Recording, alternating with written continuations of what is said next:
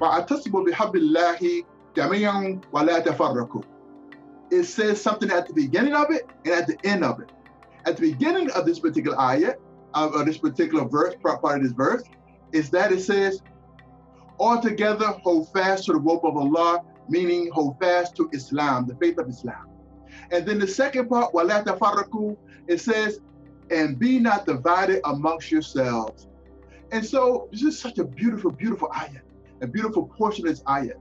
It's telling us Allah says first, hold fast to Islam. Hold fast to the rope of Islam.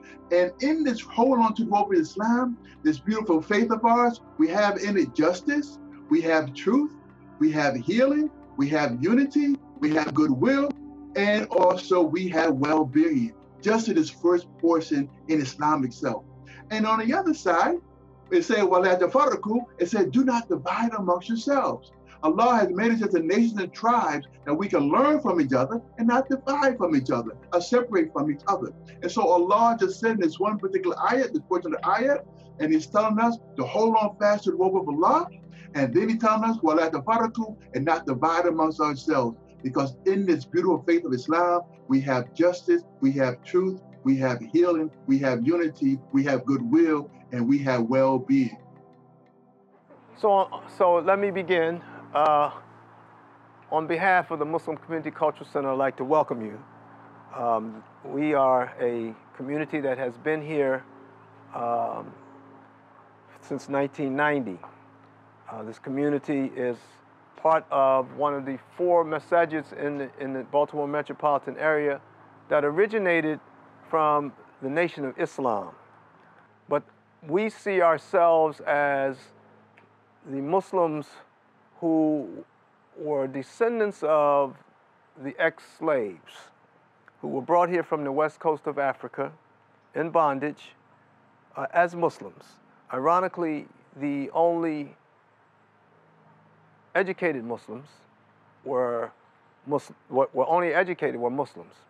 The rest of the slave population could not read and write because of the literary tradition uh, in West Africa, Islam's literary tradition. Those brothers and sisters that came here in bondage and, and were uh, chattel slaves, chattel slaves, well, they, they, they could read and write, but they were not allowed to have the fullest Islamic expression.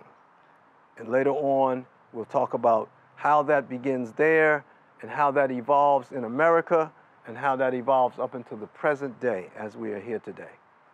So I, I want to welcome you once again on the, behalf of the Muslim Community Culture Center. I am Imam Earl El Amin. I have been the resident Imam here, here uh, for the last 15 years.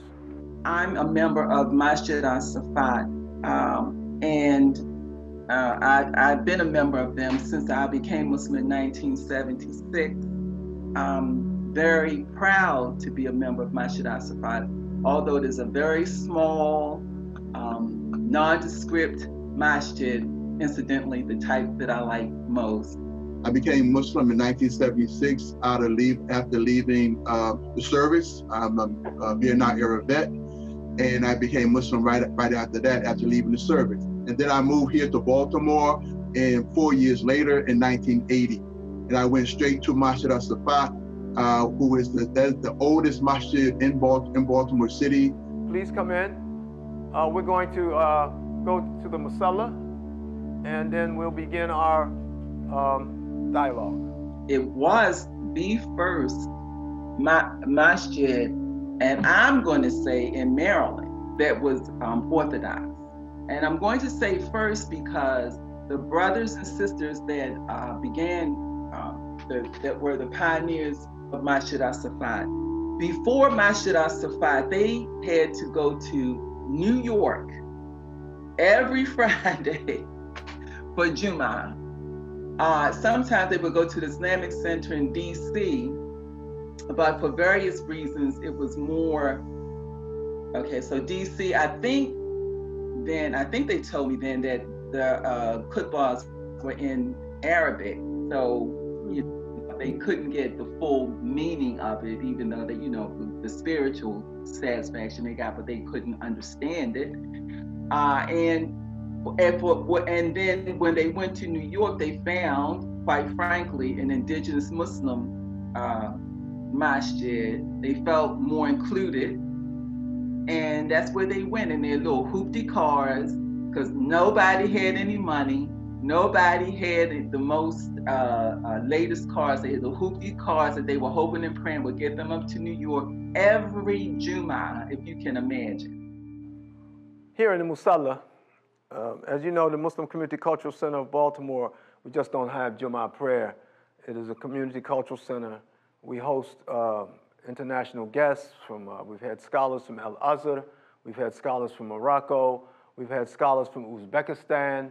We host uh, the religious studies departments from Morgan State University, Johns Hopkins University, the students there, and as well as Towson State University. They've all, the, all come here. Uh, we do similar to what we're doing here to talk about the history of Islam in Baltimore. Imam Bashar Arafat uh, has been responsible for bringing a lot of our dignitaries and our scholars from abroad to come here because many folks don't know about the history and the evolution of Islam here in America. Late 70s and I would say early 80s, just about everyone from the immigrant community who used to pray Juma or the five times daily prayers, they went to Masjid Safa um, at that time, in addition to indigenous Muslims, immigrant Muslims would come there because there was no place else to go to practice Orthodox Islam. We used to be in uh, John Hopkins Shaffer Hall. See, where Shaffer Hall actually from mid 70s all the way all the way to the early 80s.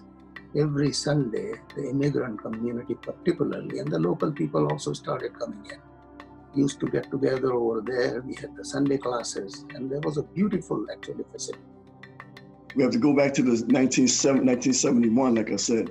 At the time, the organized practice of the Sunnah here in Baltimore was through ISB, the Islamic Society in Baltimore. They would meet at Johns Hopkins School, University on Sundays, and they would read uh, some tafsir of the Quran and they would make Salat al-Dhuhr. Uh, and some names here, there's a these people have passed away, many of them.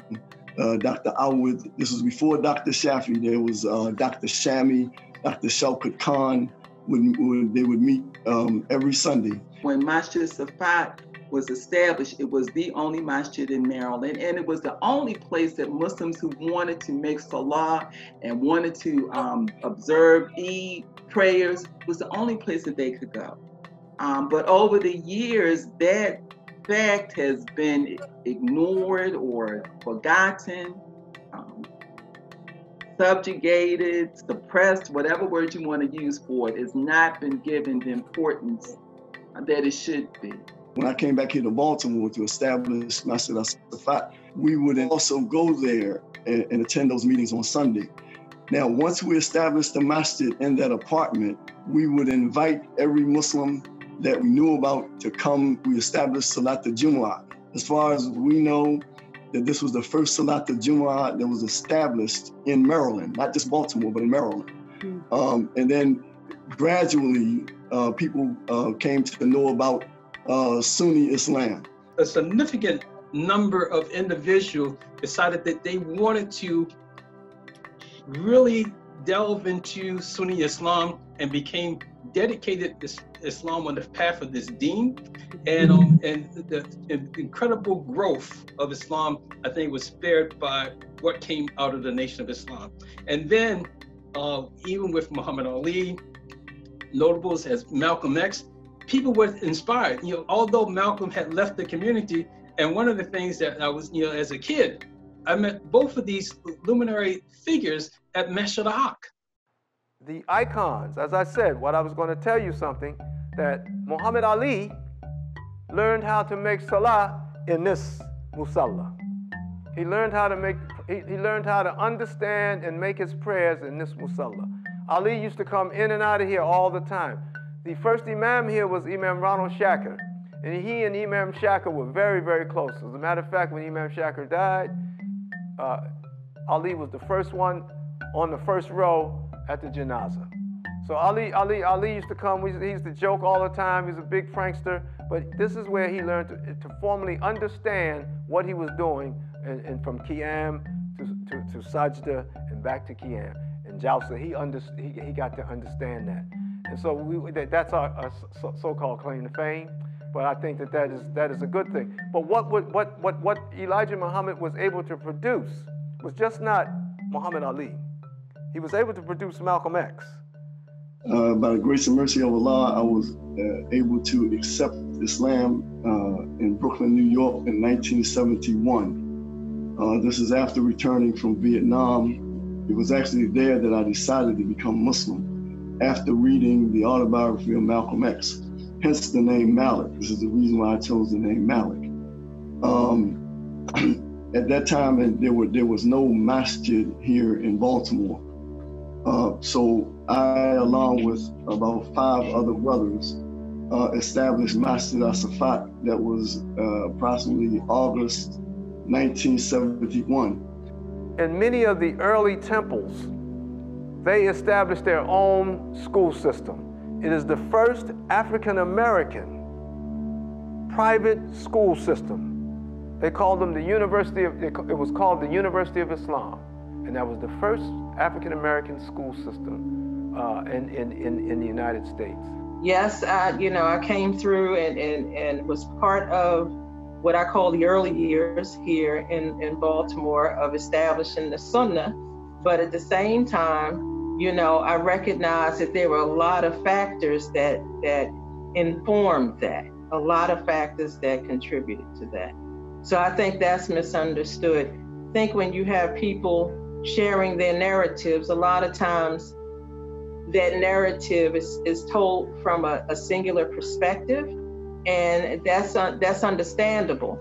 But the reality of things is that we don't understand how all of these things came into play. I think one of the big misunderstandings about Islam, Islamic history, is that they think that all African Americans came through the Nation of Islam.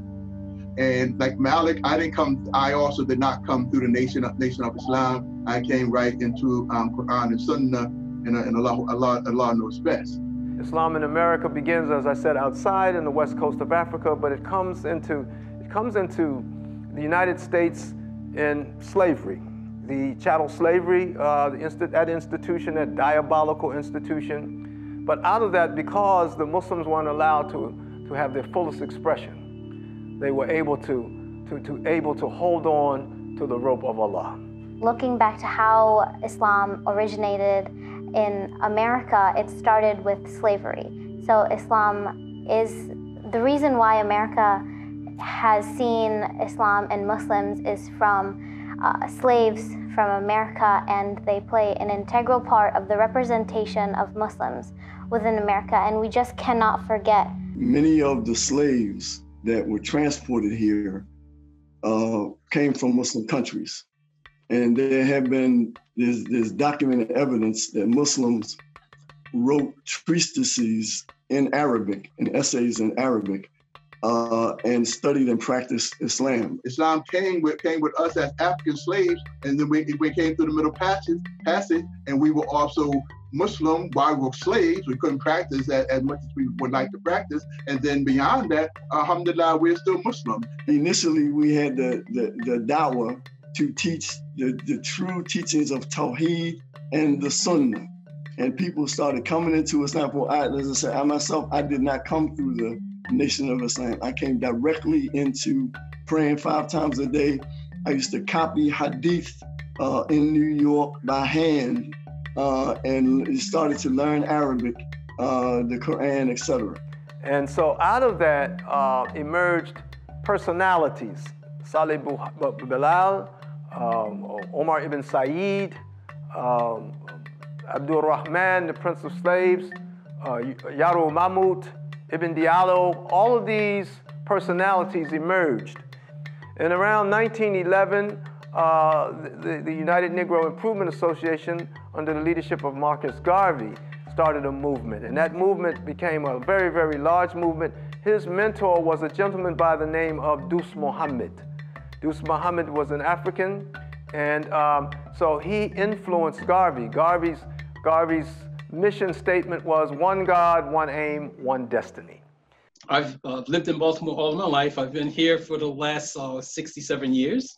I came um, via the Nation of Islam um, in 1961. Uh, my parents came to um, uh, to uh, through, through, the Nation of Islam. At the death of, of, of, Mr. Muhammad, many of those many of those who were part of the nation actually became Muslim and started following Sunni Islam. And that was probably one of the, the biggest growth of Islam in North America. You know, because like for the most part, many of the immigrant Muslims did not come and interact with African Americans. And, and I think with what, what Mr. Muhammad did in terms of dignifying African American hands down, I think that was the turning point, um, you know, uh, in part of the growth of Islam in America. Well, I'm always asked the question, well, how did so many people get attracted to Islam?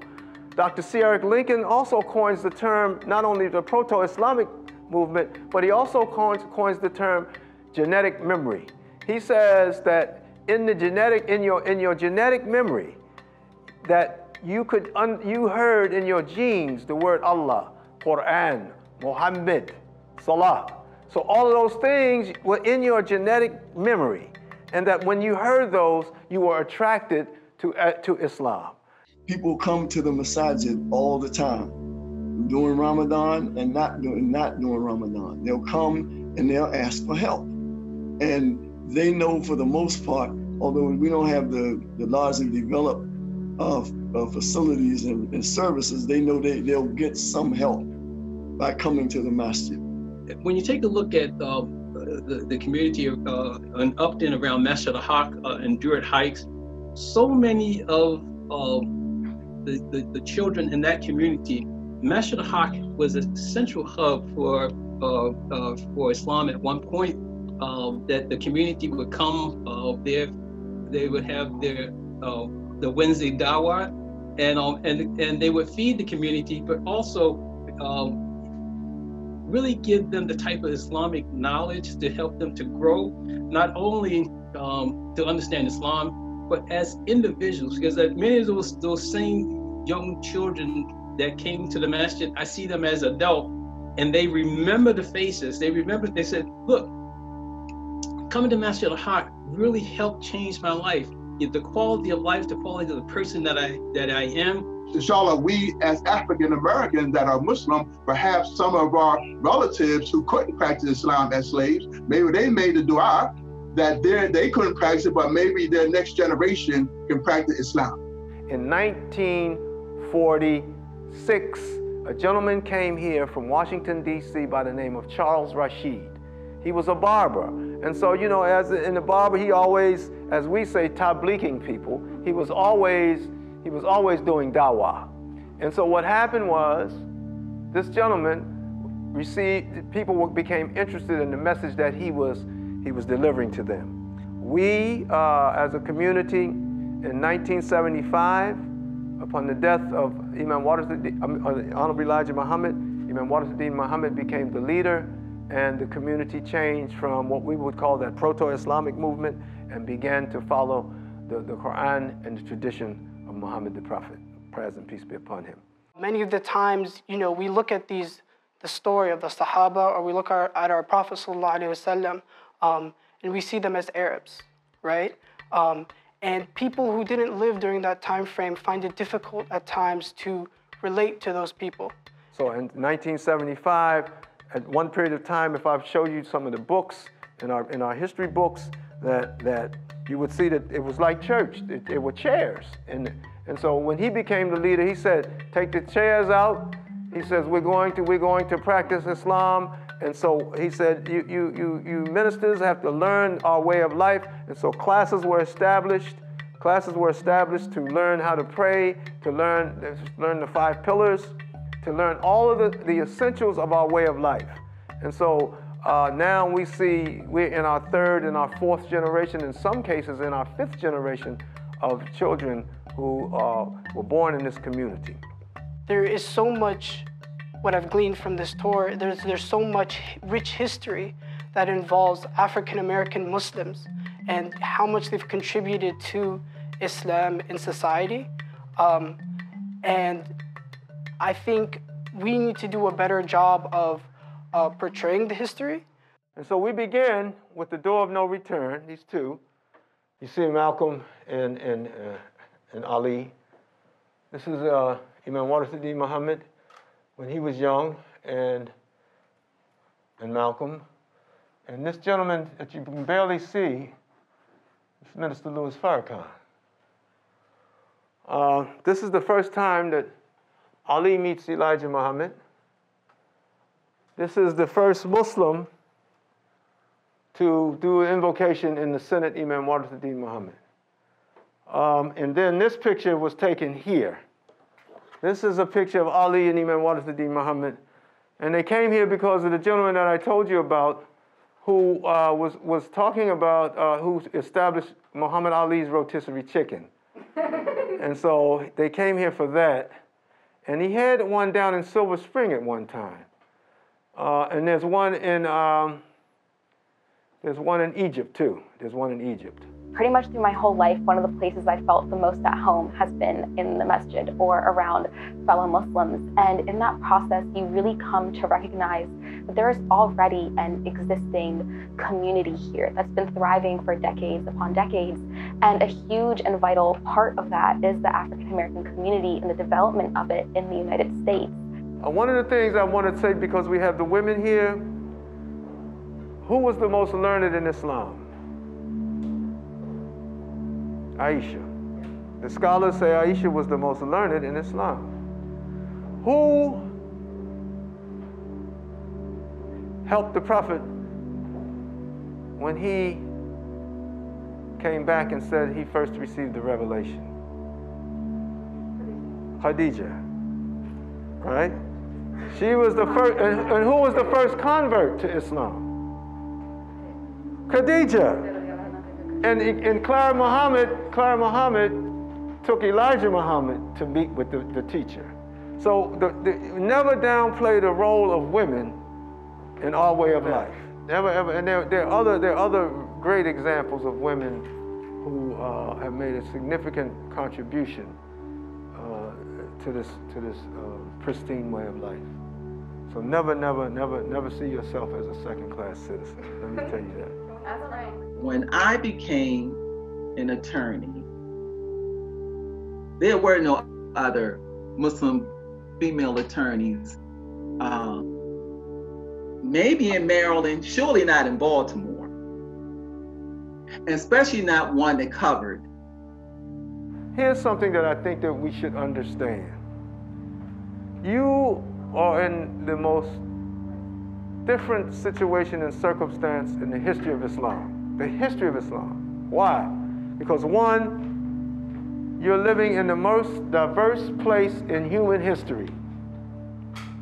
Religiously, racially, and culturally. That's the United States of America. And two, you're living in the most diverse ummah, the most diverse Muslim community in the history of Islam is here in the United States of America.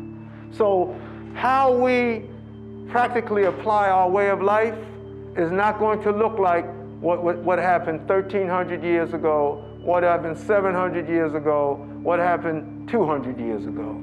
How we practically apply our way of life is predicated on our time, space, reality. Never forget that. You're students. Never forget that. And you're the ones that are going to be the leaders in Islam. That's right. Never forget that, inshallah. It's coming from our heart because we really sincerely care about the community.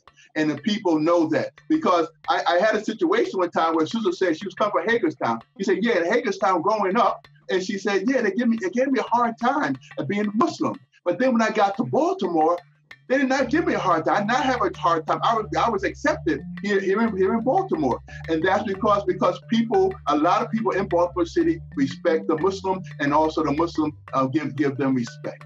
Because of Islam and because of the Muslim presence, um, people uh, in in Baltimore City, in the hood, like we say, have developed a respect for Muslims I think folks see the sincerity and they feel the sincerity from Muslims uh, when we get involved in the community. Uh, I know initially when I started with the, the uh, Islamic community, uh, when Muslims moved in that community, um, we were able to make such an impact in terms of closing liquor stores, in terms of getting folks uh, galvanized to, to really um, make the type of change uh, uh, in the community to have the quality of life, not only a good quality of life for the Muslims, but the quality of life for the whole community. Some of this came from the former inmates who became Muslim while in prison. And, you know, we started the prison programs, and you find that many, some people are Muslim while they're in prison. When the doors open and they leave, they leave Islam in prison. Many times while brothers are in prison, their relatives, non-Muslim relatives, will call the, the, the, the mosque or the masjid. And they want to know what to get for them and how they can help their son or their daughter uh, or their brother once they leave the prison. So it's so much so, and I, will I'll say say this, venture to say this, that you can go to the deepest part of the hood in Baltimore, and we, you know, we know this. If you walk the streets, you can go to Cherry Hill, you can go to East Baltimore, you can go to the deepest, well, West Baltimore, and as long as you identify with with Islam, you'll be surprised. The people will respect you because they know that Muslims respect them. It's important that we maintain understanding our history and we try to impart that to our young people because you should you should you should be regardless if your parents are from Pakistan if they're from if they're from Egypt if they're from Malaysia regardless you should always understand where you came from and maintain some of the cultural identity of that. It's very important for you to maintain your cultural identity. Well i think one of the contributions that islam has uh, made to Baltimore is enriching its culture because um, prior to the, I guess, upsurge in in the presence of Muslims, this was basically an old steel town, basically um, all either blacks or whites, um, blue collar, um, not a lot of cultural things going on, um, a few, but not in terms of international culture. Um, so now, you know, like you can go somewhere and get falafel or bean pie or or um, purchase shalwar kameez or dashikis or whatever it is. The idea of a Bluetooth, we used to joke and say that came from Muslim sisters sticking their cell phones, you know where I'm going with this, yep, in, in their hijabs the fact that so many people are comfortable wearing loose clothes or clothing or ethnic clothing. The the the, the idea that we are um, heterogeneous society, that there there are a multitude of, of types of people. Really, that that was enriched by, in my opinion, by the Muslims being here, the Muslim presence. Uh, the other thing I want to I think is important to understand is we made this transition in 1975. But in 1964, something very, very important happened, which expanded the Ummah in America. Does anybody know what that was? 1964. Yes. Immigration and Nationality. The Immigration and Nationality Act. The Immigration and Nationality Act did what? It brought Muslims from all over the world. Mm-hmm. Now, most of the Muslims that came to America they were well off because most of the countries that they came from either well, they didn't have a middle class. They had an upper class and a lower class. This is why the Muslim world is in the shape that it's in right now. Growing up as an African American Muslim, I've always experienced, and unfortunately I have experienced racism. And it's sad to say that sometimes that comes from the Muslim community. I think we forget that at the end of the day, we are all one and equal. And I think this experience and this beautiful masjid has highlighted the fact that African American Muslims are as equal as Arab Muslims, Desi Muslims.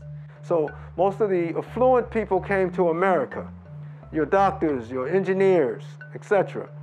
And so, but they didn't come to America to establish Islam, but they came to America for jobs, for, jobs, for employment. And so over time, because of this movement that took place, now this community, this community, it was over a million people that converted to what we would say the, the, the Quran and the tradition, the Sunnah. So this is a million people that converted. 1975, if you look at 1975, there were very few masjids in America.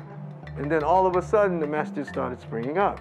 So, so this is, we've on, been on this upward, upward mobility for, for a long time. So please understand that uh, 1964 is a very, very pivotal period of time for Islam in America. Ironically, the slave trade is a very, very period, specific period of time. The, the, the turn of the 1900s is a very, very specific period of time. And going forward, there's going to, there's going to be another land.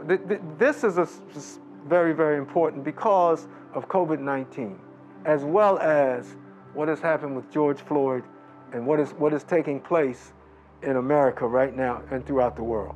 You know, as the younger generation, as young American Muslims who are kind of moving into the activism space, that we really need to explore all of the roots of Islam. You know, a lot of the times when we talk about Islam in America, we're kind of talking about the Arab community, the Desi community, what they've done, right? But we need to take a look at, you know, the contributions of the black community who've been here since slavery.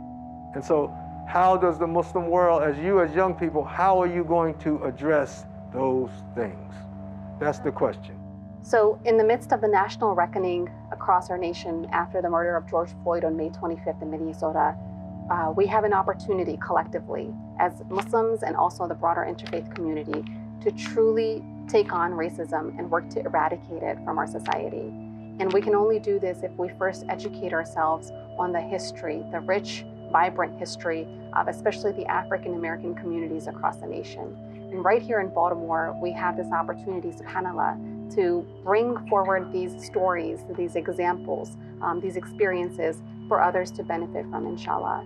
So we're very grateful to Imam Earl El-Amin and the Muslim Community Cultural Center of Baltimore Community, and to all of the diverse centers all across the city of Baltimore who have helped to truly not only pave the way for Muslims in our communities, but who have also built upon generations of uh, experiences and stories and examples to help benefit our generation today, inshallah, so that we can carry this torch forward. And by preserving and recording this history, our aim is, inshallah, to continue to further educate others, inshallah, and to inspire others to continue to learn from this history for our own sake and for our future generation's sake as well. Bismillahir سبحانك اللهم وبحمدك وأشهد أن لا إله إلا أنت وأستغفرك وأتوب إليك. ربنا آتنا في الدنيا حسنة وفي الآخرة حسنة وقنا عذاب النار. اللهم طهر قلوبنا وطهر قلوبنا وطهر قلوب أزواجنا. اللهم ارفع كلمة بالحق. وسبحان الله وبحمدك وأشهد أن لا إله إلا أنت وأستغفرك وأتوب إليك. آمين.